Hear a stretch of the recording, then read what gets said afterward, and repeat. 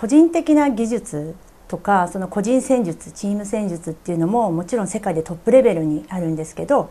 あのなでしこの強さっていうのはそのチーム力そのチームの完成度っていう意味では本当に世界で有数な、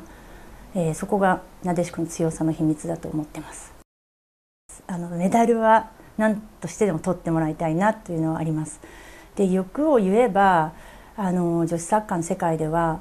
えー、ワールドカップで優勝したチームっていうのはオリンピックで優勝できないっていうジンクスがこれまでありますのでそのジンクスをぜひ破ってほしいできれば金メダルをぜひ取ってほしいと思ってます。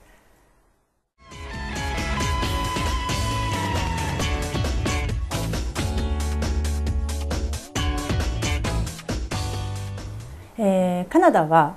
あの去年のワールドカップの前ぐらいからその今まではずっとそのフィジカルに頼るサッカーその裏にどんどん飛び出してそこにボールを蹴り出していくっていうサッカーをやろうとしてたんですけど、えー、少しそれにつなぐサッカーを入れていこうということで、えー、少しずつ変化してきてはいるんですけどやっぱり、えー、個人の技術力チーム戦術力っていう面からもまだまだ日本が格上にいると思います。どの競技よりも先陣を切って始まりますし